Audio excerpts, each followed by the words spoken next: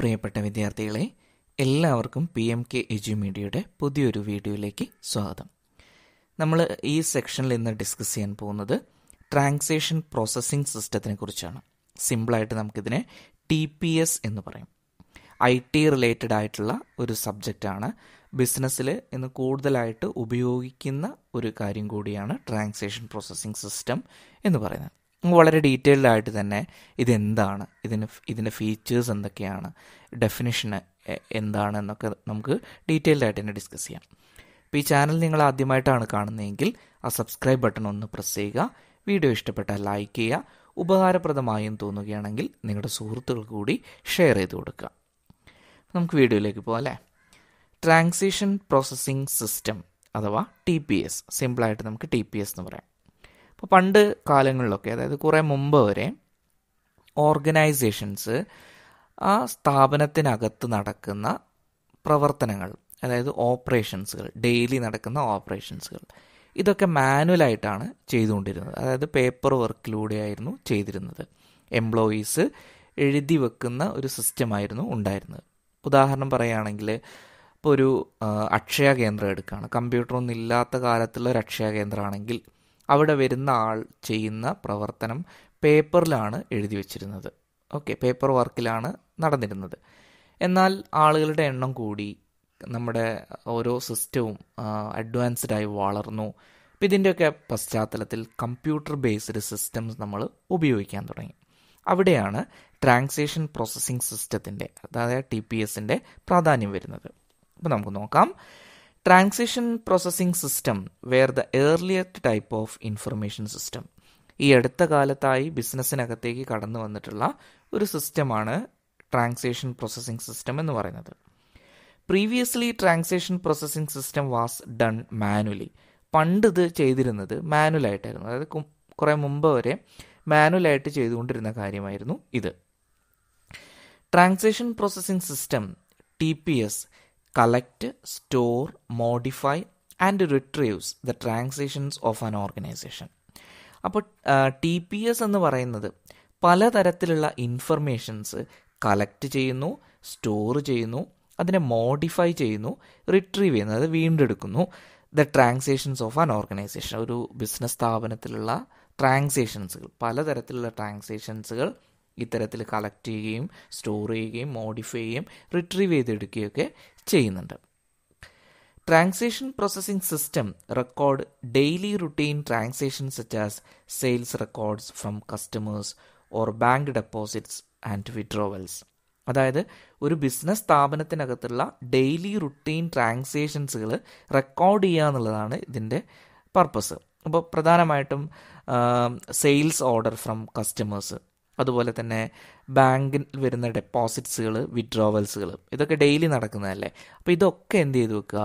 Record ചെയ്തു വെക്കുക എന്നുള്ളതാണ്. അല്ലെങ്കിൽ അത് കൃത്യമായിട്ട് പ്രവർത്തിപ്പിക്കുക എന്നുള്ളതാണ് ഈ ട്രാൻസാക്ഷൻ പ്രോസസ്സിംഗ് സിസ്റ്റത്തിന്റെ ഡ്യൂട്ടി എന്ന് പറയുന്നത്. Transactions can be any activity of the organisation ഈ ട്രാൻസാക്ഷൻ എന്ന് പറയുന്നത് ആ ഓർഗനൈസേഷനകത്തുള്ള എന്ത് പ്രവർത്തനവും ആവാം കേട്ടോ ഇപ്പോൾ സെയിൽസ് റെക്കോർഡ്സ് ആയിക്കോട്ടെ. ബാങ്കിൽ വരുമ്പോൾ ഡെപ്പോസിറ്റ്സുകൾ സ്വീകരിക്കുക വിഡ്രോവൽസ്. ആ അത് ഇനിയിപ്പോൾ ഒരു നമ്മളൊരു റെയിൽവേ ടിക്കറ്റ് കൗണ്ടറിലാണെങ്കിൽ അപ്പോൾ അവിടെ ആളുകൾ എന്ത് ചെയ്യുന്നു? ടിക്കറ്റ് എടുക്കുന്നുണ്ട് ടിക്കറ്റ് ക്യാൻസൽ ചെയ്യുന്നുണ്ട്. അപ്പം അങ്ങനെയുള്ള പ്രവർത്തനങ്ങളൊക്കെ. അങ്ങനെ ഒരു ബിസിനസ് സ്ഥാപനവും അതുമായി ബന്ധപ്പെട്ടിട്ടുള്ള എന്ത് ആക്ടിവിറ്റിയും നമുക്ക് ട്രാൻസാക്ഷനായിട്ട് എന്ത് ചെയ്യാം? പരിഗണിക്കാം. ഇപ്പോൾ ഇവിടെ ഒരു എക്സാമ്പിൾ പറഞ്ഞു നോക്കൂ. The railway reservation system booking cancelling etcetera all transactions so transaction processing system are a basic systems that process day to day transactions of an organisation to carry on its business operations ഇപ്പോൾ T P S എന്ന് പറയുന്ന ഒരു സിസ്റ്റമാണ് actually ഒരു ബിസിനസ്സിനകത്ത് നടക്കുന്ന basic ട്രാൻസാക്ഷൻസുകൾ അതായത് day to day ട്രാൻസാക്ഷൻസുകൾ നടത്തിക്കൊണ്ടു പോകുന്നതിനുള്ള ഒരു സിസ്റ്റമാണ് എന്നു പറയുന്നത്. ട്രാൻസാക്ഷൻ പ്രോസസ്സിംഗ് സിസ്റ്റം എന്ന് പറയുന്നത്. അപ്പോൾ ഇത്രയാണ് നമുക്ക് ബേസിക് ആയിട്ട് ടി പി എസിനെ കുറിച്ച് പറയാനുള്ളത്. ഇനി നമുക്ക് ഇതിന്റെ ഒരു ഡെഫിനിഷൻ നോക്കാം. Laudon and Laudon define transaction processing system T P S as transaction processing system are computerised system that perform and record the daily routine transaction necessary to conduct the business ഒരു ബിസിനസ്സിനകത്ത് അത്യാവശ്യമായിട്ട് നടക്കുന്ന daily routine ആക്ടിവിറ്റീസുകൾ ട്രാൻസാക്ഷൻസുകൾ അത് കമ്പ്യൂട്ടറിന്റെ സഹായത്തോടു കൂടി കൃത്യമായിട്ട് perform ചെയ്യുകയും റെക്കോർഡ് ചെയ്യുകയും എന്നുള്ളതാണ് ഒരു ട്രാൻസാക്ഷൻ പ്രോസസ്സിംഗ് സിസ്റ്റത്തിനെ കൊണ്ട് ചെയ്യുന്നത് എന്നാണ് ഇവർ പറയുന്നത്. ഓക്കെ. അപ്പോൾ നമുക്ക് ചുരുക്കി ഇതിനെ പറയുകയാണെങ്കിൽ ട്രാൻസാക്ഷൻ പ്രോസസ്സിംഗ് സിസ്റ്റം എന്ന് പറഞ്ഞിട്ടുണ്ടെങ്കിൽ ഒരു ബിസിനസ് സ്ഥാപനത്തിനകത്ത് ഡെയിലി ആയിട്ട് നടക്കുന്ന കാര്യങ്ങളെ നടത്തി കൊണ്ടുപോവുകയും അത് റെക്കോർഡ് ചെയ്തു വെക്കുകയും അത് പ്രോപ്പറായിട്ട് റിപ്പോർട്ടുകൾ ഉണ്ടാക്കുക. ഇതൊക്കെ ട്രാൻസാക്ഷൻ പ്രോസസ്സിംഗ് സിസ്റ്റത്തിനെ കൊണ്ടുള്ള മെച്ചങ്ങളാണ്. അല്ലെങ്കിൽ ഇത്തരം കാര്യങ്ങളാണ് ടി പി എസ് എന്ത് ചെയ്യുന്നത്? ചെയ്യുന്നത്. അപ്പോൾ നമുക്ക് ഡീറ്റെയിൽഡ് ആയിട്ട് തന്നെ ഇതിന്റെ ഫീച്ചേഴ്സുകൾ ഓരോന്ന് ഓരോന്നായിട്ട് നോക്കാം. അപ്പോൾ ഒന്നാമത്തെ ഫീച്ചർ എന്ന് പറയുന്നത് റാപ്പിഡ് പ്രോസസ്സിംഗ് ആണ്. റാപ്പിഡിന്റെ മീനിങ് അറിയാലോ? ദ്രുതഗതിയിലുള്ള അല്ലെങ്കിൽ വേഗത്തിലുള്ള എന്നുള്ളതാണ്. The processing of transaction speedily very important the success of any enterprise in the light of advancing technology customer demand for immediate action അപ്പോൾ നമുക്ക് ട്രാൻസാക്ഷൻസുകൾ നടക്കുക എന്ന് പറയുമ്പോൾ അത് വളരെ സ്പീഡായിട്ട് നടക്കുമ്പോൾ അത് സ്ഥാപനത്തിന് ഒരു ബെനിഫിറ്റ് ആണ്.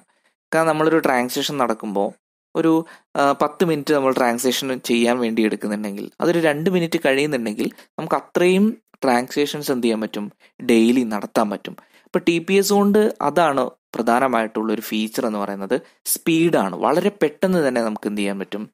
കാര്യങ്ങൾ ചെയ്തു തീർക്കാൻ പറ്റും.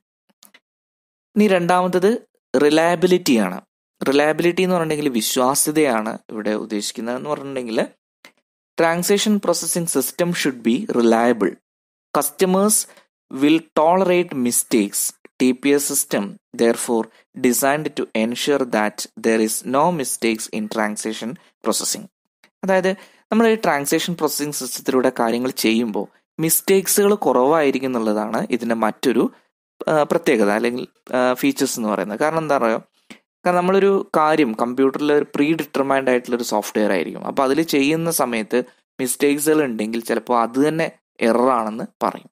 അപ്പോൾ നമ്മൾ കറക്റ്റ് ആയിട്ടുള്ള ഇൻഫർമേഷൻസുകളായിരിക്കും അതിനകത്ത് എന്ത് ചെയ്യുന്നത്? എന്റർ ചെയ്യുന്നത്. അതുപോലെ തന്നെ അത് സേവ് ചെയ്യുന്നത്. അപ്പോൾ ആ ഒരു കാരണം കൊണ്ട് തന്നെ നമുക്ക് ടി പി എസിനെ കൂടുതലായിട്ട് വിശ്വസിക്കാൻ സാധിക്കും. അതാണ് റിലയബിലിറ്റി എന്നതുകൊണ്ട് ഉദ്ദേശിക്കുന്നത്. ഇനി മൂന്നാമത്തതാണ് സ്റ്റാൻഡേർഡൈസേഷൻ സ്റ്റാൻഡേർഡൈസേഷൻ എന്ന് പറഞ്ഞിട്ടുണ്ടെങ്കിൽ transaction must be processed in the same way each time to maximise efficiency അതായത് ഓരോ സമയവും ഒരു ഓരോരോ രീതിയിലല്ല ട്രാൻസാക്ഷൻ നടക്കുന്നത്. ഇപ്പോൾ ഒരു പ്രവർത്തനം തന്നെ അതൊരു ഫിക്സഡ് ആയിട്ട് നമ്മൾ ചെയ്തു വെച്ചായിരിക്കും. അപ്പോൾ അതിലിങ്ങനെ നടക്കുന്ന സമയത്ത് ഓൾ ടൈംസ് അതൊരു ഒരു കൃത്യമായ സ്റ്റാൻഡേർഡിലൂടെ ആയിരിക്കും എന്ത് ചെയ്യുന്നത്? പ്രവർത്തിക്കുന്നത്. To ensure this T P S interface are designed to acquire identical data for each transaction അപ്പോൾ ഓരോ ട്രാൻസാക്ഷനും ഒരു ഒരേപോലെ ചെയ്യുന്നത് കൊണ്ട് നമുക്കതിനെ പെട്ടെന്ന് തന്നെ എന്ത് ചെയ്യാൻ പറ്റും? ഐഡന്റിഫൈ ചെയ്യാൻ പറ്റും. ഇപ്പോൾ ഇപ്പോൾ നമ്മൾ മാനുവലായിട്ട് ചെയ്യുന്ന സമയത്ത് ചിലപ്പോൾ ചെറിയ ചെറിയ വ്യത്യാസങ്ങൾ എഴുത്തിലോ അല്ലെങ്കിൽ ചെയ്യുന്നതിലോ ഒക്കെ ചെറിയ ചെറിയ വ്യത്യാസങ്ങൾ ഉണ്ടായിരിക്കാം. പക്ഷേ ടി പി എസിൽ അങ്ങനെ വരില്ല. എല്ലാ ഇപ്പോൾ പർച്ചേസ് ആണെങ്കിൽ ആ പർച്ചേസിൽ വരുന്ന ട്രാൻസാക്ഷൻസ് ഒക്കെ ഒരുപോലെ ആയിരിക്കും. സെയിൽസ് ആണെങ്കിൽ അതിൽ വരുന്നതൊക്കെ ഒരുപോലെ ആയിരിക്കും. മാറ്റങ്ങൾ ഉണ്ടാവുകയില്ല. അതാണ് അവിടെ സ്റ്റാൻഡേർഡൈസേഷൻ എന്നുകൊണ്ട് ഉദ്ദേശിക്കുന്നത്. ഇനി കൺട്രോൾഡ് ആക്സസ് ആണ്. കൺട്രോൾഡ് ആക്സസ് എന്ന് പറഞ്ഞിട്ടുണ്ടെങ്കിൽ എല്ലാവർക്കും ഈ സിസ്റ്റത്തിനകത്തേക്ക് എന്റർ ചെയ്യാൻ സാധിക്കില്ല. Since T P S system can be such powerful business tool access must be restricted to only those employees who require their use ഉപയോഗിക്കുന്നത് ആരാണോ അവർക്ക് മാത്രമേ എന്ത് ചെയ്യാൻ പറ്റൂ? അതിനകത്തേക്ക് പ്രവേശിക്കാൻ പറ്റുള്ളൂ. അല്ലെങ്കിൽ കമ്പ്യൂട്ടർ സിസ്റ്റം ഓപ്പറേറ്റ് ചെയ്യാൻ പറ്റുകയുള്ളൂ. കാരണം ഓരോ സിസ്റ്റത്തിനും കൃത്യമായ പാസ്വേഡും യൂസർ നെയിമും പാസ്വേഡും ഒക്കെ ഉണ്ടാവും. അതനുസരിച്ച് മാത്രം ആ ഉപയോഗിക്കുന്ന ആളുകൾക്ക് അതിനകത്ത് എന്ത് ചെയ്യാൻ പറ്റൂ? എന്റർ ചെയ്യാൻ പറ്റുള്ളൂ. അപ്പം അങ്ങനെ വരുന്ന സമയത്ത് നമുക്ക് അവിടെ ഒരു സെക്യൂരിറ്റി പ്രൊവൈഡ് ചെയ്യുന്നുണ്ട്. അതാണ് കൺട്രോൾഡ് ആക്സസ് എന്ന് പറയുന്നത്. എല്ലാവർക്കും കയറിയിട്ട് അതിൽ ചെയ്യാൻ പറ്റില്ല. അത് പ്രൊവൈഡ് ചെയ്യുന്ന ആളുകൾക്ക് മാത്രമേ എന്ത് ചെയ്യാൻ പറ്റൂ? അതിൽ വർക്ക് ചെയ്യാൻ പറ്റുള്ളൂ. ദ നെക്സ്റ്റ് അഞ്ചാമത്തത് distribution of information to other systems അതായത് ഒരു സിസ്റ്റത്തിൽ നിന്ന് മറ്റൊരു സിസ്റ്റത്തിലേക്ക് നമുക്ക് എന്ത് ചെയ്യാൻ പറ്റും? ഇൻഫർമേഷൻസ് കൊടുക്കാൻ സാധിക്കും ഡിസ്ട്രിബ്യൂട്ട് ചെയ്യാൻ സാധിക്കും. അത് പല രീതിയിലാണ്. ഇപ്പോൾ നോക്കുക. Transaction processing system produces information and distributed to distributed to other type of systems for example this system is responsible for producing various reports like profit and loss account and balance sheet അതായത് നമ്മളിപ്പോൾ ഒരു ബിസിനസ്സിനകത്ത് daily ട്രാൻസാക്ഷൻസുകൾ ജേർണൽസുകൾ prepare ചെയ്യണമെന്ന് വിചാരിക്കുക. ഇപ്പോൾ ജേർണൽസുകൾ prepare ചെയ്യുന്ന ആ ഒരു സിസ്റ്റത്തിന് അതിനകത്ത് നിന്നും എന്തൊക്കെ ഉണ്ടാക്കാം? പ്രോഫിറ്റ് ആൻഡ് ലോസ് അക്കൗണ്ട് ഉണ്ടാക്കാം. അതുപോലെ തന്നെ ബാലൻസ് ഷീറ്റ് ഉണ്ടാക്കാം. ഇതൊക്കെ ഉണ്ടാക്കിയിട്ട് ഇപ്പോൾ തന്നെ നമ്മൾ പറയുകയാണെങ്കിൽ ടാലി ടാലി എന്ന് പറയുന്നത് ടാലിക്കകത്ത് നമ്മൾ ഓരോ ട്രാൻസാക്ഷൻസുകൾ എന്റർ ചെയ്ത് കഴിഞ്ഞിട്ടുണ്ടെങ്കിൽ ഓട്ടോമാറ്റിക്കലി എന്തവിടെ ഉണ്ടാവും? പ്രോഫിറ്റ് ആൻഡ് ലോസ് അക്കൗണ്ട് ഉണ്ടാവും. അതുപോലെ തന്നെ ബാലൻസ് ഷീറ്റും ഉണ്ടാവും. അപ്പോൾ നമുക്ക് അങ്ങനെയുള്ള റിപ്പോർട്ട്സുകൾ സെപ്പറേറ്റ് സിസ്റ്റത്തിനകത്തേക്ക് എന്ത് ചെയ്യാൻ പറ്റും? പ്രൊവൈഡ് ചെയ്യാൻ സാധിക്കുമെന്നാണ് പറയുന്നത്. ഇതിനടുത്തത് ഹിസ്റ്റോറിക്കൽ ഡേറ്റ ഹിസ്റ്റോറിക്കൽ ഡേറ്റ എന്ന് പറയുന്നത് നമ്മൾ ഒരിക്കലും തന്നെ ഈ ഇതിനകത്ത് സേവ് ചെയ്തിരിക്കുന്ന ഇൻഫർമേഷൻസ് കളയുന്നില്ല. ഓരോ ദിവസവും നടക്കുന്ന ട്രാൻസാക്ഷൻസ് കമ്പ്യൂട്ടറിൽ ഡേറ്റാ ബേസിൽ എന്ത് ചെയ്യുന്നുണ്ട്? സ്റ്റോർ ചെയ്യപ്പെടുന്നുണ്ട്. അപ്പോൾ നമുക്ക് വേണ്ട സമയങ്ങളിൽ ഡേറ്റിനനുസരിച്ചോ അത് ഇനി അതല്ല പ്രയോറിറ്റി അനുസരിച്ചോ ഇൻഫർമേഷൻസ് അതിനകത്ത് നിന്ന് എന്ത് ചെയ്യാൻ പറ്റും? വീണ്ടെടുക്കാൻ സാധിക്കും എന്നുള്ളത് ഇതിന്റെ മറ്റൊരു പ്രത്യേകതയാണ്. അതാണ് ഹിസ്റ്റോറിക്കൽ ഡേറ്റ എന്നുകൊണ്ട് ഉദ്ദേശിക്കുന്നത്. Next link with external environment നമുക്ക് ഈ ഇതിനകത്തുള്ള സിസ്റ്റം പുറത്തുള്ള ആളുകളുമായിട്ട് എന്ത് ചെയ്യാൻ പറ്റും? ലിങ്ക് ചെയ്യിക്കാൻ പറ്റും. ഉദാഹരണം പറയുകയാണെങ്കിൽ ഇവിടെ നോക്കൂ. Organisation establish the relation with external environment through information generated from transaction processing system for example T P S distribute information it to its customers and suppliers ഇപ്പോൾ ബിസിനസ്സിന്റെ ഉള്ളിലല്ലാത്ത പുറത്ത് വരുന്ന ആളുകൾ ഇപ്പോൾ സപ്ലയേഴ്സ് കസ്റ്റമേഴ്സ് ഇവർക്കൊക്കെ നമുക്ക് എന്ത് ചെയ്യാൻ പറ്റും? ഇൻഫർമേഷൻ ഡിസ്ട്രിബ്യൂട്ട് ചെയ്യാൻ സാധിക്കും. അപ്പോൾ അവരെയും നമുക്ക് ഇതിന്റെ ഒരു ഭാഗമാക്കി ലിങ്കാക്കി ഇതിൽ നിർത്താൻ സാധിക്കും എന്നുള്ളത് ഇതിന്റെ ഒരു പ്രത്യേകതയാണ്. Then the last one is meet the requirements of operational level of organisation നമുക്കൊരു ബിസിനസ് സ്ഥാപനത്തിന്റെ പ്രവർത്തന മേഖലയിലുള്ള എല്ലാ കാര്യങ്ങളും ഈ ഒരു ടി പി എസിന്റെ സഹായത്തോടു കൂടി എന്ത് ചെയ്യാൻ പറ്റും? ചെയ്തു തീർക്കാൻ സാധിക്കും എന്നുള്ളത് ഇതിന്റെ ഒരു പ്രത്യേകതയാണ്. Most of the decisions made in the operational level are structured hence the decisions can be programmed well and in advance operational personnel can make use of this programmed decisions for undertaking an activity this is done with the help of transaction processing so ഈ പ്രവർത്തന മേഖലയിൽ പലപ്പോഴും പലതരത്തിലുള്ള ഡിസിഷൻസുകളൊക്കെ എടുക്കേണ്ടി വരും. അപ്പോൾ ഇത്തരത്തിലുള്ള ഡിസിഷൻസുകൾ എടുക്കണമെങ്കിൽ പ്രോപ്പറായിട്ടുള്ള ഇൻഫർമേഷൻസ് ആവശ്യമാണ്. ഈ ഇൻഫർമേഷൻസ് ഒക്കെ നമുക്ക് എന്ത് എന്തുകൊണ്ട് സാധിക്കും എന്തുകൊണ്ട് കിട്ടും? ടി പി എസ് ഉണ്ടെങ്കിൽ ടി പി എസിൽ നിന്ന് നമുക്ക് ഓൾ ഇൻഫർമേഷൻസ് കൃത്യമായിട്ട് കളക്ട് ചെയ്യാൻ സാധിക്കും. അപ്പോൾ ഇങ്ങനെയുള്ള ഓപ്പറേഷണൽ ലെവൽസിലേക്കുള്ള ആവശ്യമായിട്ടുള്ള റിക്വയർമെന്റ്സുകൾ നമുക്ക് ടി പി എസ് കൊണ്ട് ചെയ്യാൻ സാധിക്കുമെന്നാണ് ഇവിടെ പറഞ്ഞിട്ടുള്ളത്. അപ്പം ഇത്രയും കാര്യങ്ങളാണ് നമുക്ക് ടി പി എസിന് ട്രാൻസാക്ഷൻ പ്രോസസ്സിംഗ് സിസ്റ്റത്തിനെ കുറിച്ച് പറയാനുള്ളത്. ഈ വീഡിയോ നിങ്ങൾക്ക് ഉപകാരപ്രദമായി കാണുമെന്ന് വിചാരിക്കുന്നു. ഇഷ്ടപ്പെട്ടാൽ ലൈക്ക് ചെയ്യുക ഉപകാരപ്രദമായെങ്കിൽ നിങ്ങളുടെ സുഹൃത്തുക്കൾ കൂടി ഷെയർ ചെയ്ത് കൊടുക്കുക. എല്ലാവർക്കും നല്ലൊരു ദിവസം ആശംസിക്കുന്നു.